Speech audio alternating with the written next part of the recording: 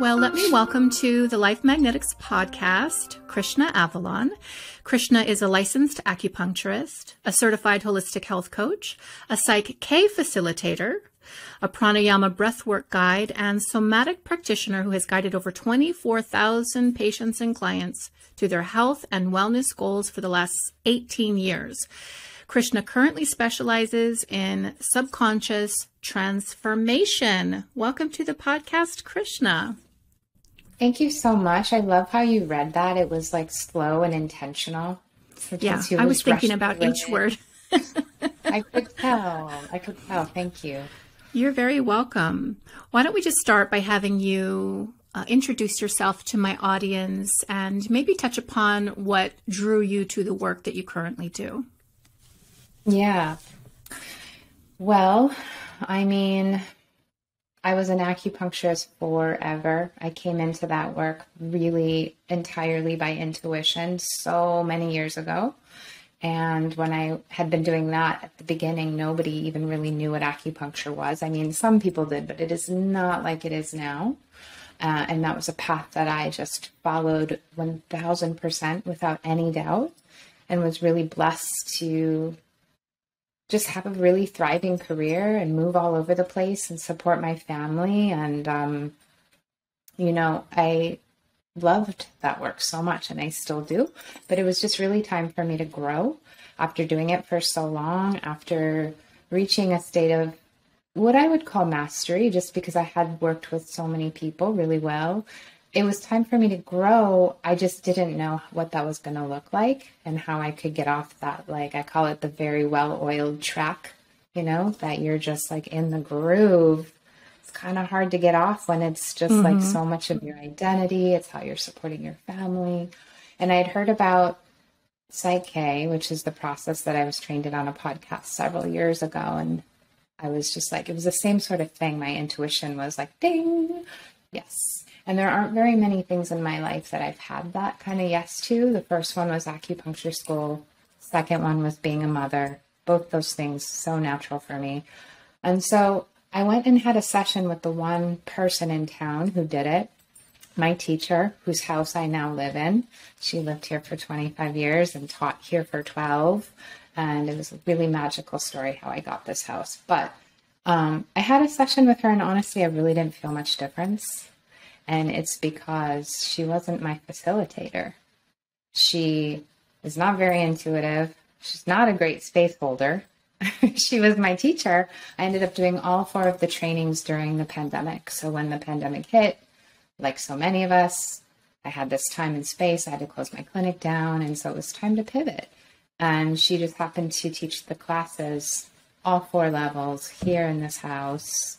And I just knew 100% I wanted to do it because when I started learning about the subconscious mind, I mean, I became obsessed because, as you know, the subconscious creates 90 to 95% of our life's experiences because it's where our beliefs are stored, it's where our habits are, where we're on autopilot. And so, as a person naturally that is into healing, had my own healing to do, wanted to be able to even help my patients more at a deeper level. I mean, it was just natural. And so now here we are in this time, right, where like everybody talks about their wounding and their triggers and their inner child and their shadow. This is the work for that. And it's direct, it's simple, it's conscious. You don't have to be hypnotized. You know, it's like just very everything I love simple, direct, quick, conscious. Um, and so that's kind of the long answer, but a short answer. Can define it. Well, I want to ask you um, kind of a different question before we get into all of that, because I have so many um, curiosities around everything that you do. But I wanted to talk about you as a child, because in my experience, someone's life purpose and the work that they came here to do usually kind of shows up in the nature of the child, whether that's an intuition or an empathy. So, what kind of a child were you? And were you always someone who kind of worked, wanted to work with energy or work to help people and heal people? Yeah, thank you for asking. And I love that I can talk with you about this not as like some wounded, traumatic place. It's just this is what happened. So I came into my mother's womb in an unconscious way. My mom was not conscious. And so she was very young and she was very Catholic. My family's huge. My grandmother and grandfather had 17 children. And so in that time of 1974, my grandparents didn't know what to do with my pregnant mother other than kick her out of town and tell her to not come back until she had a husband. So I came into this unconscious place, the shame, my mother's getting kicked out of the tribe, the not belonging, not being accepted.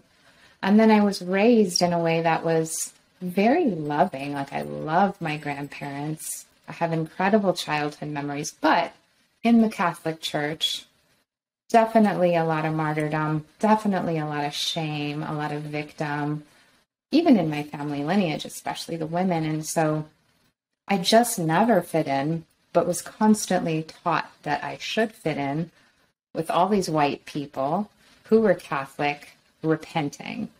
And so I was just very like acting out. You know, I had things in my life that just reinforced those beliefs that I came into, that energy that I came into, reinforced all my life. So I had like this kind of parallel or conflicting thing where I was like really pretty and really popular, but also I had these deep beliefs that I wasn't worthy. I wasn't accepted. I couldn't trust myself for who I was.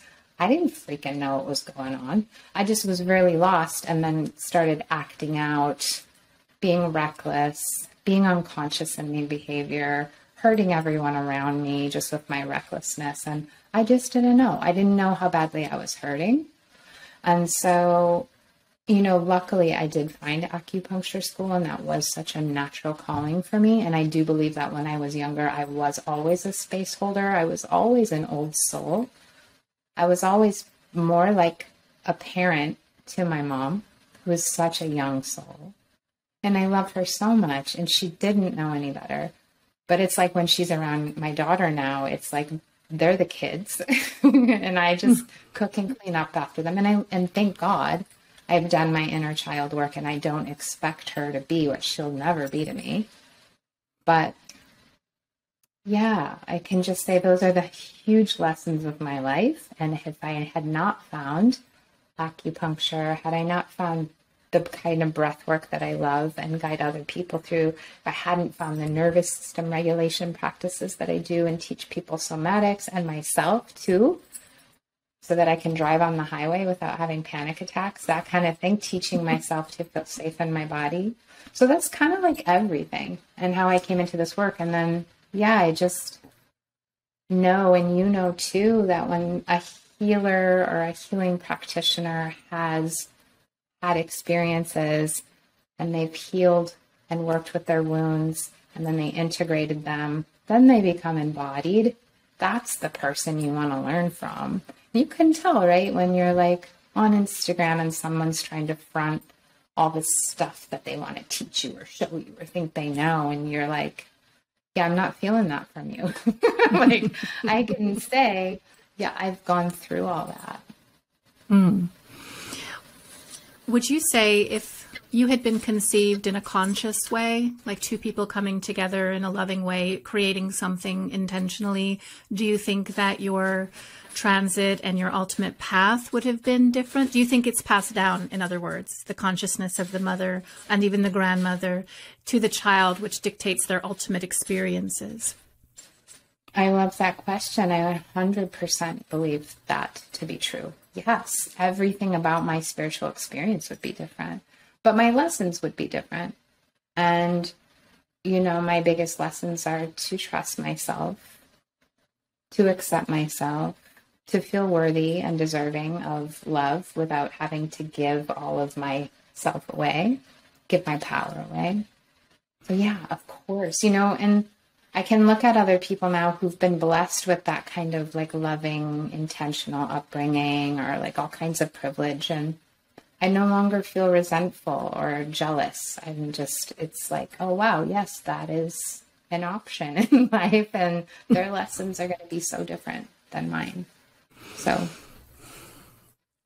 Well, you mentioned a little while ago feeling safe in the body, and I kind of wanted to talk a little bit about that because my observation of the world right now, and I've been on the planet since 1968, things are so different. And I definitely sense and can see on social media people detaching from who they are, like whether it's filters on Instagram or wanting to be a Kardashian stereotype or Facetune, just kind of looking for an external principle of body and trying to project that.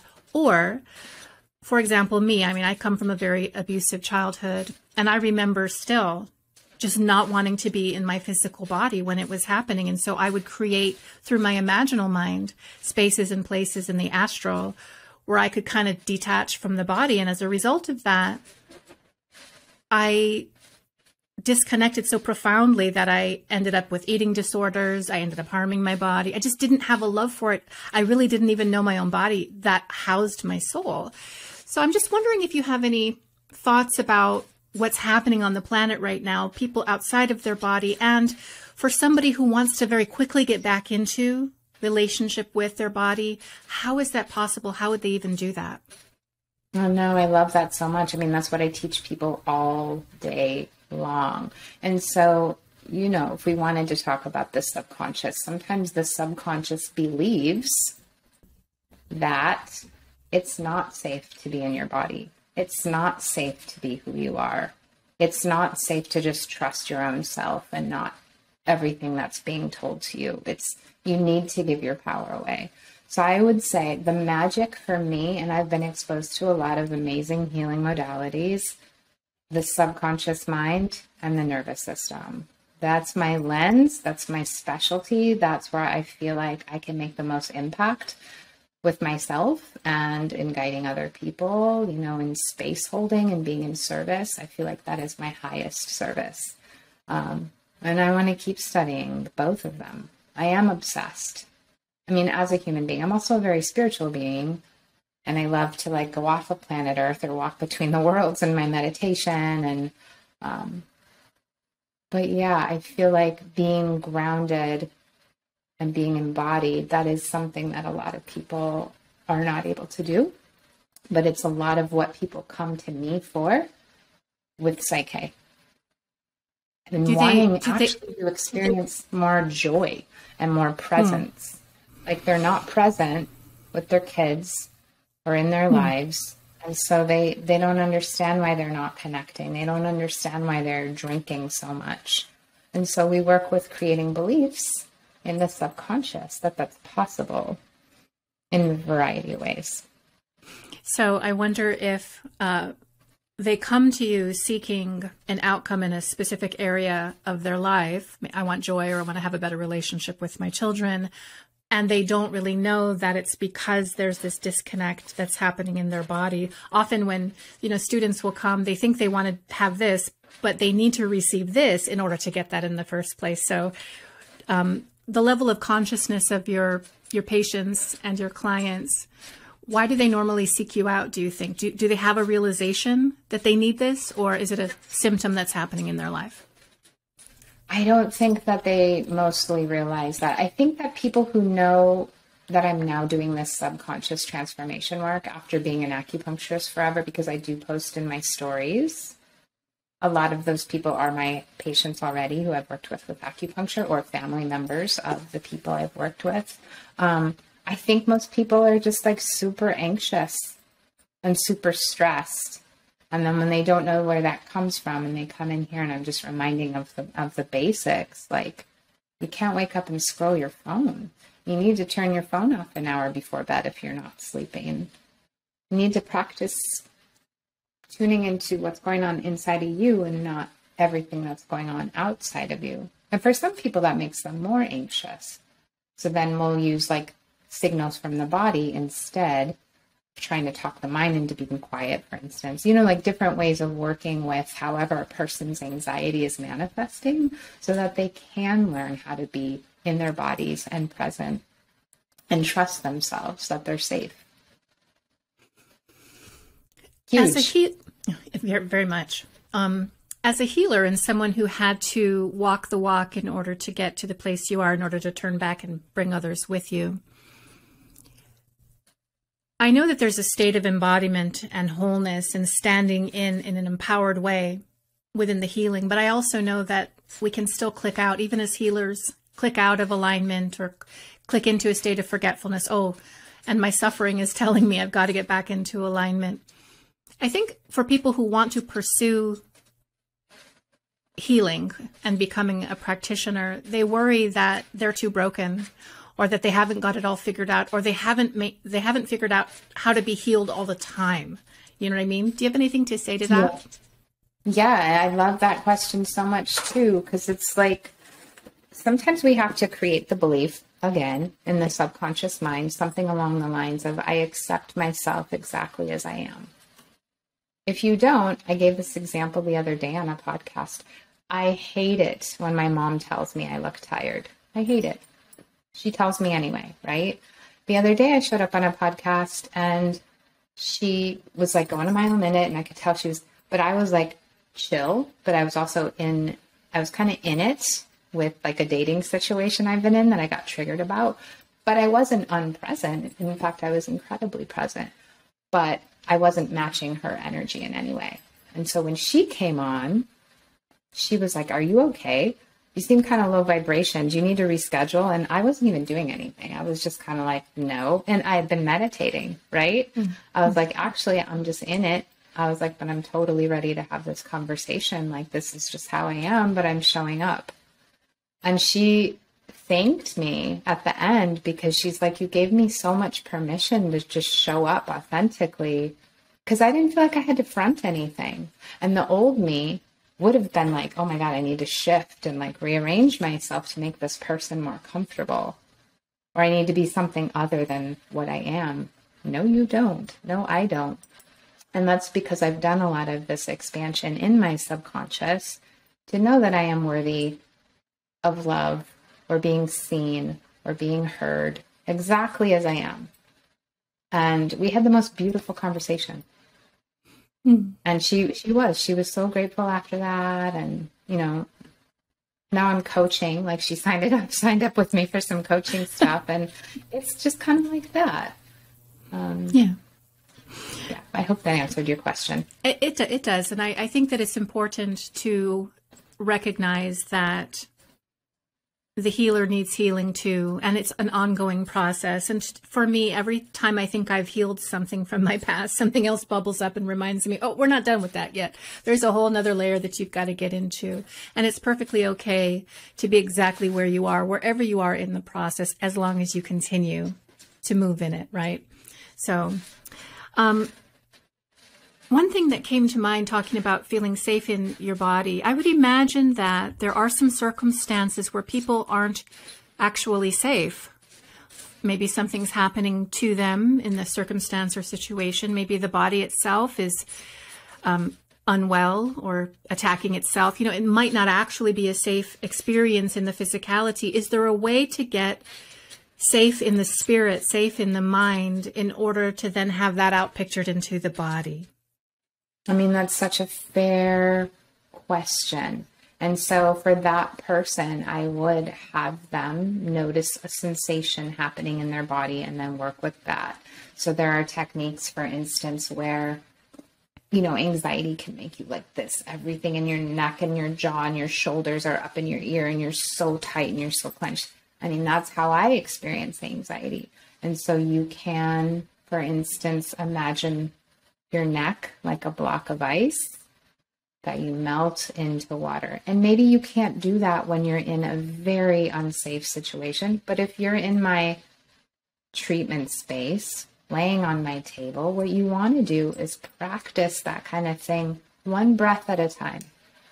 Just one breath at a time so you can come up and down what we call the ladder in nervous system language. One breath at a time so that you're not always up here in fight or flight, survival, looking for danger or the next thing you have to get done, or the opposite, where you're on the very bottom playing dead because everything's too overwhelming and that's your survival strategy. You want to be able to go up and down. And so the nervous system, the way to work with it is to train it one breath at a time and you're like adding drops of water to a bucket. So to your point, there are a lot of people that don't feel safe but you want to like any opportunity you have where you're not needing to fight for your life, using something like that to practice. Or even just like a hand on your heart, being like, mm-hmm. I got you. I'm going to take care of you. I'm not going to leave you. You know, I do stuff like that to myself when I'm mm-hmm. driving in the car on the freeway and it's nighttime and raining and there are semis all over. You know what I mean? So, um, yeah.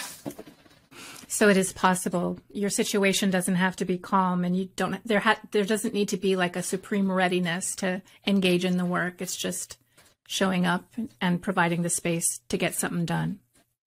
And what you can do, like in that moment where I'm like everything's tightening up in me on the freeway, and I could have a panic if I didn't have tools, using what works for me smelling some essential oil, you know, making sure I'm resourced before I get on the highway. I have food, I have water, I have a scoop of nut butter for my nerves, I have some ashwagandha tincture.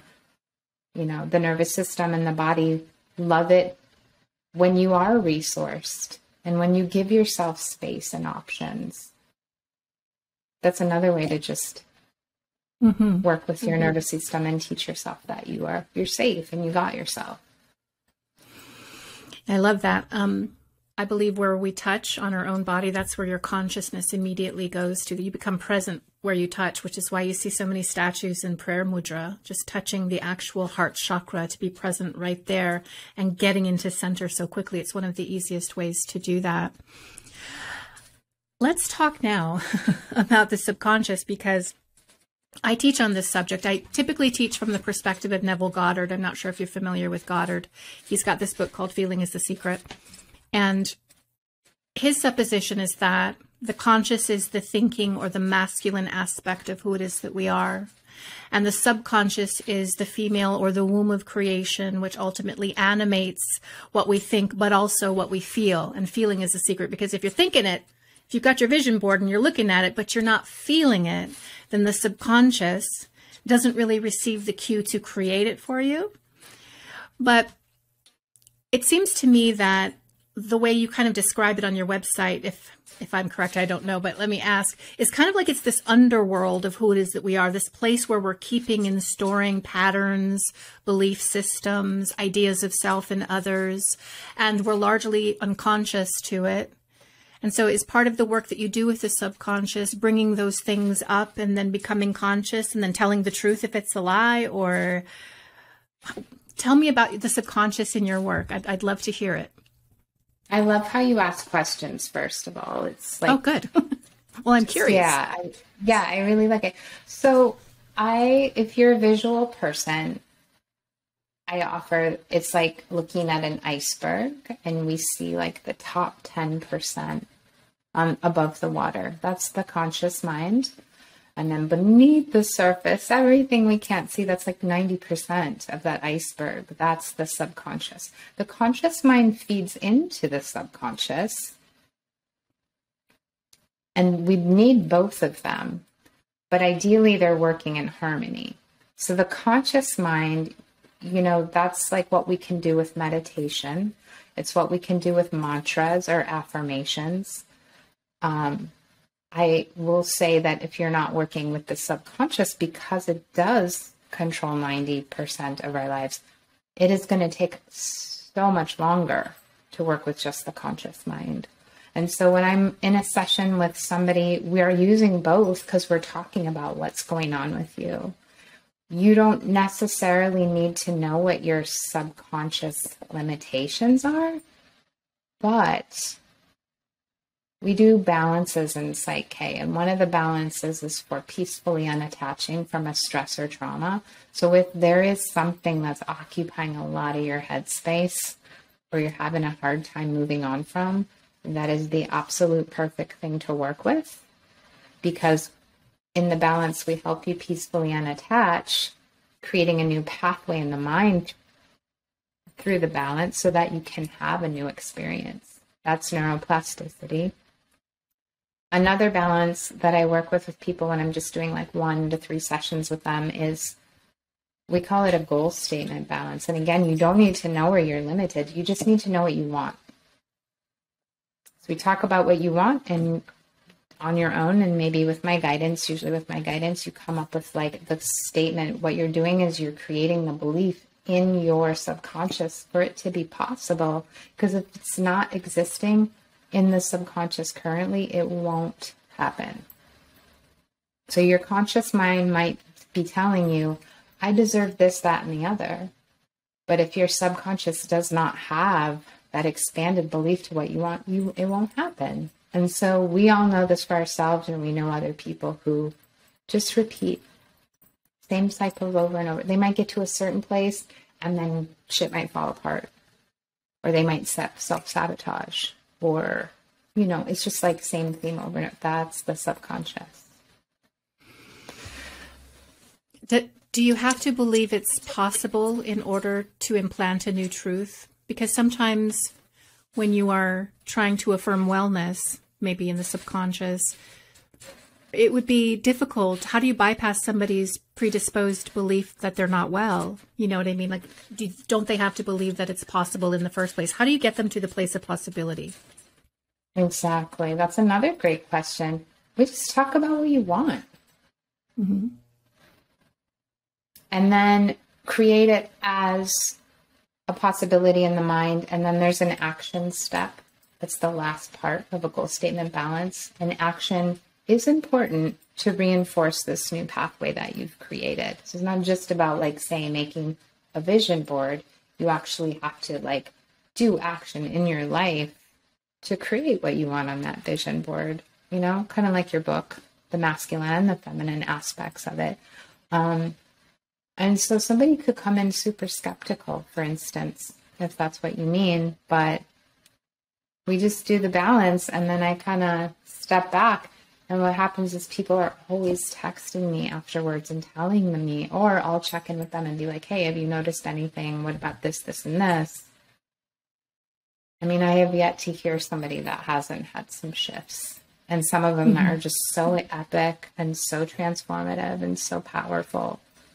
Um, you know, when I first did this work, yes, it was intuitive. Yes, I knew I wanted to do it, but I still, I offered that one balance to like 20 of my patients just because I wanted to I wanted to see what was possible. It was that transformation of stress balance. For things that like I know these people well enough to be like, oh my God, this balance would be it. Like this is the way I could help you most. Every single person, I mean, just blowing me away. And like I have a ton of testimonials on my website about it because it's the best way people can understand how this work is possible or what is possible using it. Um, hmm.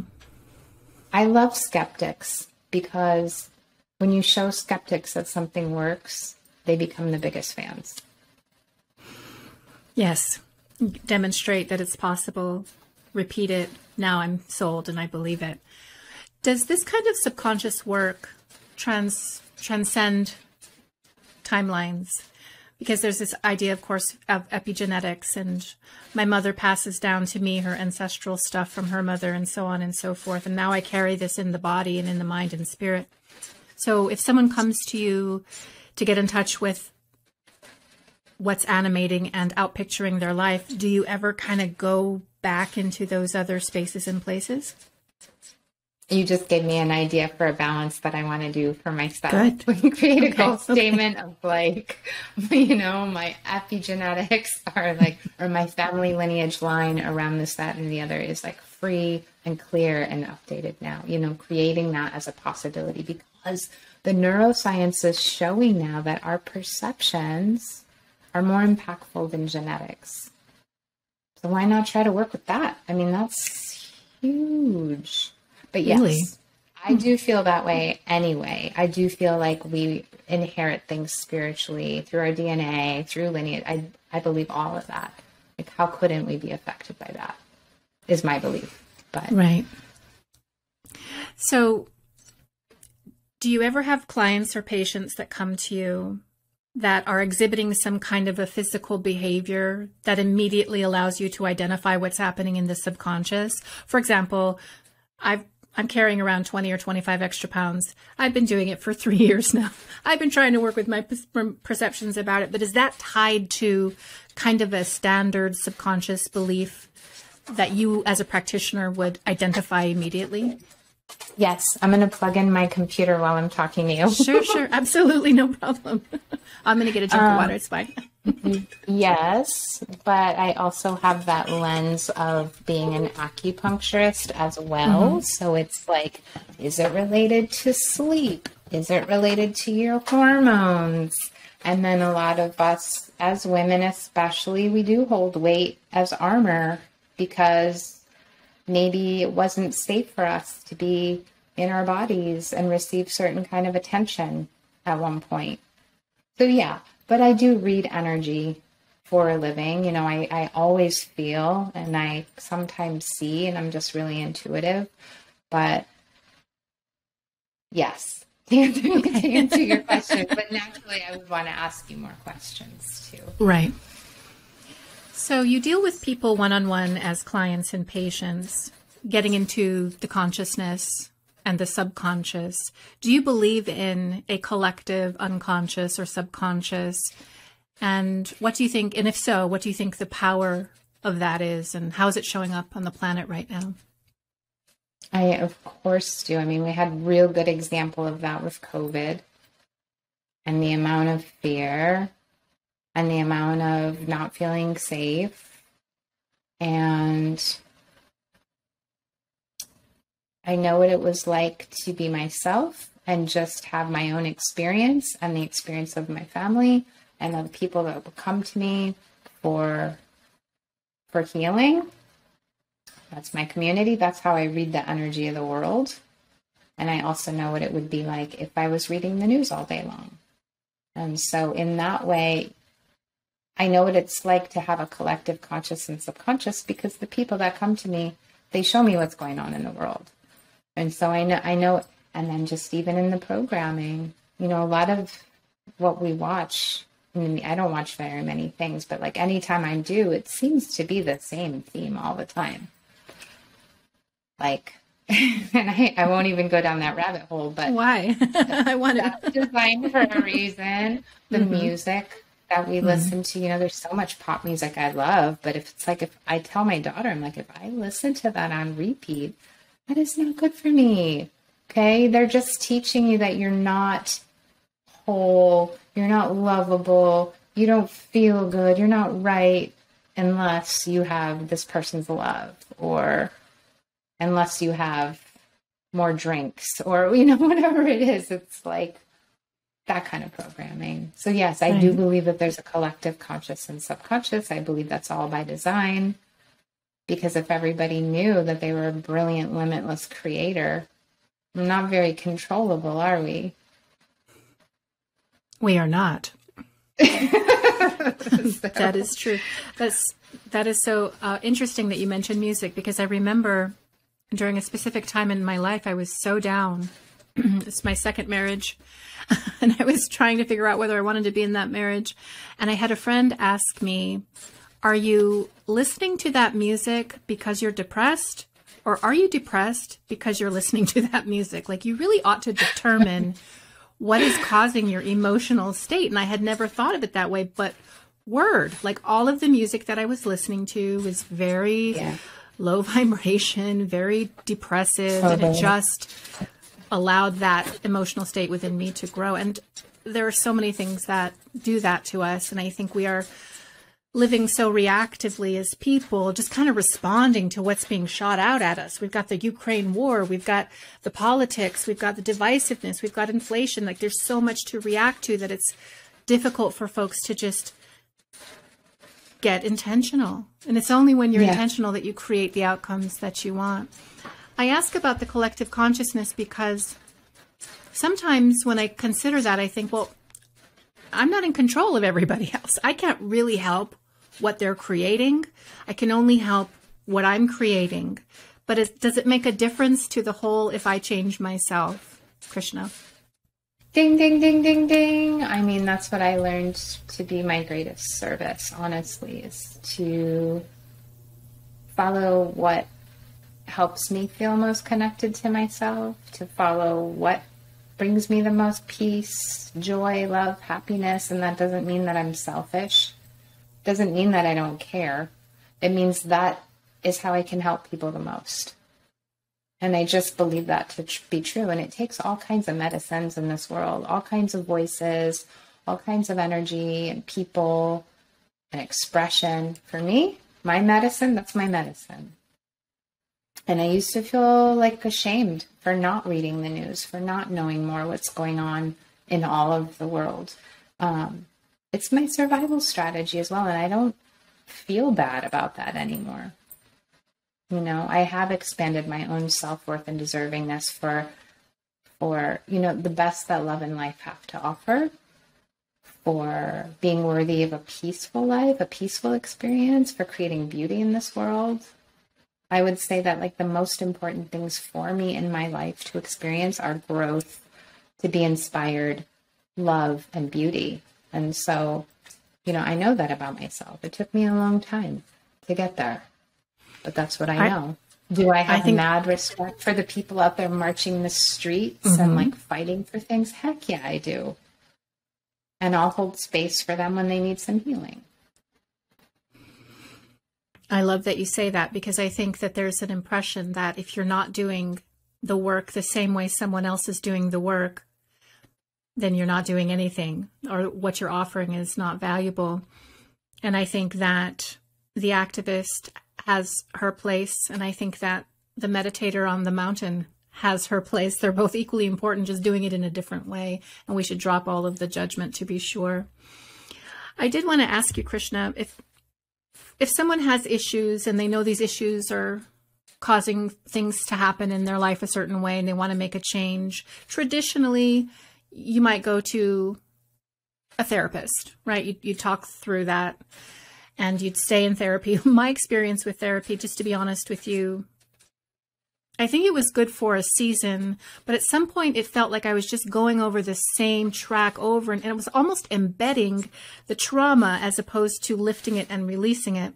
So, what is the difference between analysis and therapeutics, talk therapy, traditional, and the kind of work that you do? And can somebody do it more quickly with your modality than a conventional therapist? You're literally asking me my favorite questions. Oh, good. Yes. I am working with some of the favorite people I'm working with right now have been in talk therapy for 15 and 20 years, and they intellectually and consciously understand why things are the way they are. They love their therapist. They love talking. Are they still stuck, angry, triggered, resentful on a bunch of pharmaceuticals? Yeah. And then they come in here and do like four or five sessions, and everyone in their life is like, You're different. What is going on with you? How are you moving through life and all that's going on? Your divorce, job change, kid with special needs like how are you doing that without drinking all the time and being super angry like you? It's because of this work. It's absolutely because of this work. And i have a lot of examples like that. I mean i'm even thinking i just finally paid off my student loans about a year and a half ago from acupuncture school. I'm thinking about getting my uh, my licensed clinical social work. I don't want to be a social worker or a mental health therapist but I would love to bring the subconscious work to a bigger audience. And so it's crossing my mind that that could be something that I could offer that's super special and would get it out there to more people. And I could really do this for the rest of my life virtually. And so it's, mm-hmm. I, I have, I just had a couple meetings yesterday with two different schools and I'm like, do I want to do this? I mean, I would love to just be doing this stuff without having to get that degree, but I can also see where the degree would be really beneficial. So, how long is your average client with you? So, if they've got a lot of problems and they're coming to you, how many sessions should they expect to hang out with you and do the work? I have my favorite people did like do subconscious transformation. So that's a series of 10 sessions, but they've all, none of them have even completed them yet. I have a lot of people who've done like five, six, seven sessions. But after those first few, you know, you can spread them out. I have a lot of people do three, three series. I have a lot of people who do one who they're just like, I don't really understand what this is, but I want to see what it does for me, that kind of thing. And then they're still integrating that one session. So, so, but it's not like three years, yeah. unless no. you take three years to go. No, I would say okay. 10 sessions, you are going to absolutely transform your life, and you don't need to do them all within three, four months. You know, I, the people who are making the hugest impacts that did have a lot on their plate and a lot of stuff they wanted to work through. I would say nobody's done 10, but the ones I'm working with right now who've made such big changes, they've done like five, six sessions. And now they mm-hmm. don't have to come in every week or two weeks or a month. They're like still kind of integrating some of the other stuff. That sounds great. because when I yeah. think about it, it's exhausting with everything else that I have to do in my life to expect to be in therapy for three years to clear trauma is just, you know, and, I, yeah, that just sounds simple and it sounds it, better. It's, and it's also more enjoyable. Like I didn't, you know, I've had good talk therapy in my life and it was because they asked the right questions and they were playful and they knew how to hold space. But like talk therapy in general is not my jam. So mm-hmm. I love that in this work, I get to focus on what you want and I get to help you get unstuck. For a lot of people, talking about their stressful stuff is super triggering. That's why I'm like, do I want the licensed clinical social worker for, you know, marriage and couple family counseling? Like, I don't want to be a counselor. I just want to help people feel empowered as creators of their lives and focus on what they want. And that's why I do. I love this. I love this method because it's that's what we do. It sounds amazing. Now, would a client, when they visit with you and have sessions with you, are they receiving like resources and tools that they can run for themselves when they find themselves in reaction or whatever? Or is it more about uh, programming the subconscious to the belief in the possibility, or is it both? I always try to give people things that they can do on their own. I wouldn't say it's part of the Psych-K process that I was trained in. First of all, I don't like the name Psych-K. It stands for psychology plus kinesiology. Kinesiology means muscle testing. So I tend to call it subconscious transformation because that is what I want to do with people. That's my skill set. I'm a space holder, I'm a somatic practitioner, I'm super intuitive, and now I have this subconscious transformation tool. Um, I forgot what your question was. whether like they have like your your patients like have a process or something or whether it's just something that gets yes, embedded and then okay yes i love to give people homework but in the balance where we're doing a goal statement, there are many balances. Those two main ones I talked about, those are just like the ones I work with the most for people I'm just having like one to three sessions with, but there are other balances that take longer that are amazing. Um, but in the goal statement balance, there is that action step. And if your subconscious looks back at your notes that I give you and sees, oh, I did that action step, what that does is so powerful. And it's not even like doesn't even have to be this huge thing. It's just that the pathway gets reinforced when you have done that action step and your subconscious sees that you've done that action step. And then it becomes easier for the subconscious to seek that information out in the world to reinforce your new belief because you're trying to create that well traveled path in the forest. Currently, mm. you're trying to override the one that you've taken a bazillion times. That's so familiar, probably not true, probably super limiting. Right. So you're also uh, a practitioner of pranayama breath work. And I just have a feeling that breath intersects very well with the work that you do with the subconscious. Can you speak to that or talk about the importance of breath? Yeah. I remember the first time I did this breath work was so I was living in Chicago. I was at some kind of like event at my friend's in my friend's living room and I was like, whoa. Like I had wanted to study it ever since I learned about it. Never really found a person that I was attracted to. I didn't like seek it out, but I would occasionally ask, Hey, do you know of anybody who teaches this kind of breath work? And they were all sort of like fluffy, kind of hippie type peeps. Not bad, just not my teacher. And then when I finally found my teacher, which was probably like six years ago, yeah, I went for that right away too. That is for clearing big emotion off the body. So, talk about lineage stuff, ancestral stuff, collective stuff, or your own stuff. You don't even need to know where it's coming from. You're just letting the breath do all the work for you and clear it from your body. And I love doing both.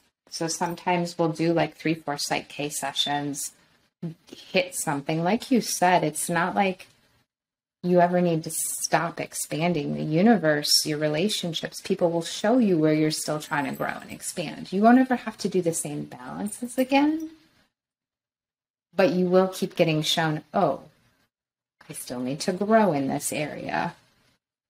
I still need to grow my self worth, what I deserve, how to not give my power away. I mean, those are the ba- those are like the foundations of what most people work with, anyway. And the yeah. breath helps to facilitate the movement through that. I do love the breath work for the emotion. That is my mm-hmm. go to for the emotions. I like to say that I specialize in crying and helping people cry and get that stuff up, and they're yelling and accessing their voice. So that's why I love combination sessions or like, you know, when I get to really coach people for 10 sessions, we'll bring in some breath work for sure. And then you know, sometimes I'll drop people into a somatic meditation just because I want to, just because I'll teach them some tools, um, that action step, which is part of the Psych-K dogs. But then there are other things that I might suggest people do on their own.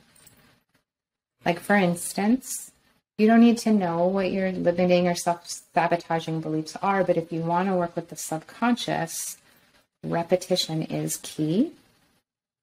So, having maybe one habit a day that you know would reinforce something you want to feel more of in your life, you start consciously doing that. I usually suggest people spend a couple few minutes in the morning, even a minute before you get out of bed, and then before you go to sleep.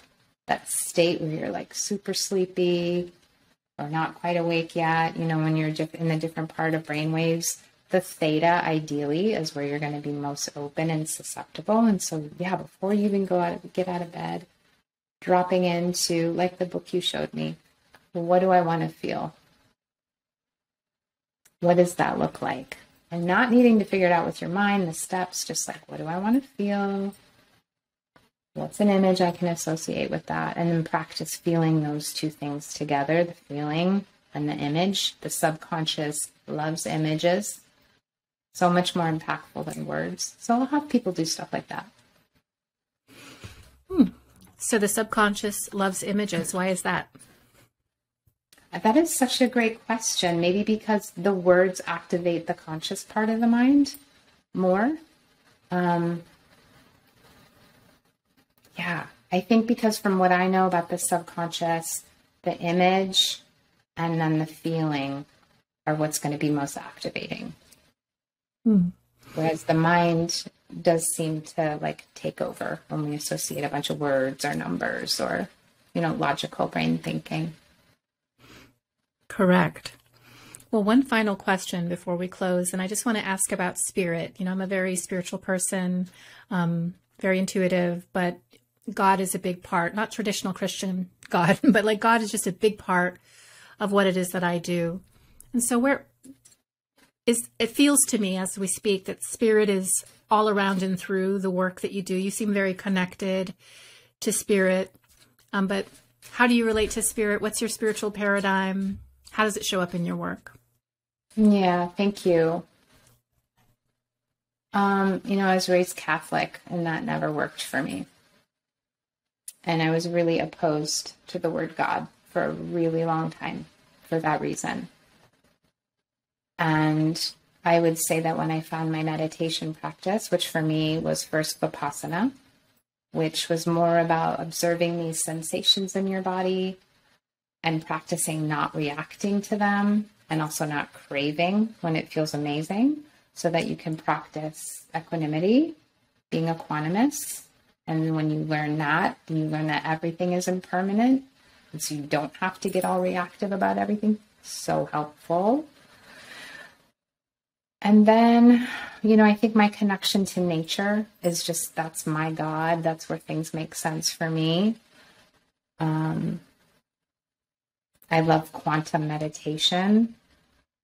I love quiet. And I have a connection to something like so much bigger and higher than me. So I am a super spiritual person. I do say God now sometimes, or the divine or source. What's also interesting is that during pandemic, some of the language that people with like Christ consciousness speak, I relate to that a lot, which is mostly about like we are super sovereign beings who are so capable that God runs through all of us and the divine, and that we're unity, like we're all connected. We're all of the same source. And to me, I've never experienced more truth than that. Um, so I would say that. that is very beautifully stated, Krishna. Oh, I love that very much. Absolutely. um, I, you know, I was in fundamentalist Christianity for over a decade. I mean, I was upset with the word God as well for quite some time. Very triggered by Jesus, but like it's taken me quite some time to kind of come around full circle and be reintroduced to the more eternal concepts underpinning all of these things. So beautiful. Well, Krishna, um, why don't you tell everybody how they can well we've already kind of talked about how they can work with you i've been to your website though there's a lot of cool offerings can you tell people if you've got something coming up that might interest them and or how they can find you on the interwebs i love that yeah, um, just my name, which is Krishna Avalon, is my website, and that does explain more about the subconscious transformation work, the process I was trained in, which is called Psych-K. Certainly, my bio. I talked here about my story. I can offer these sessions virtually. So, the muscle testing, if anybody knows what that is, I just ask permission to muscle test on your behalf when we're doing a virtual hmm. session. Not like channeling your energy or doing anything weird. It's very simple. Um, and then there is a resource page on my website for some of the somatic practices and some breathwork practices that I did create that turned out, I think, really beautifully. I created them for like some corporate wellness apps. And then my newsletter, I don't send very many newsletters, but I am formulating something that will be very accessible, like maybe once a month on a Sunday evening, an hour healing where I can bring healing energy to the group, Reiki or something higher. I don't know that I call it Reiki anymore, but we'll just say Reiki or something higher. And then maybe muscle testing on behalf of the group for like a theme. Ooh. And so making that affordable for people. Um, yeah, probably around awesome. something, probably with some kind of new moon or full moon. But I've been asked to do that by a few people now, different podcast hosts like yourself who are super connected and do cool work in the world. Um, so I'm really excited to collaborate. I love teaching and doing those kinds of things when I'm asked. It's like when I'm asked, invited, then it like invites me to rise. Um, yeah. So newsletter, website, and then I post in Instagram stories when I feel like it, when I'm inspired, and then I have a LinkedIn page. Wonderful. Well, I encourage all of our listeners to go and check that out. I spent a good amount of time on your website earlier today, just getting the vibe, Aww. trying to connect in to see what you're doing, the beautiful work that you're doing. Thank you so very much for spending time with me today and sharing yourself and your beautiful work. I've so enjoyed getting to know you, Krishna. Thank you. Oh my gosh, likewise. I just feel like we're friends. And um, me yeah, too. thank you for asking such thoughtful questions and um, just being so connected in your energy and a beautiful space holder yourself.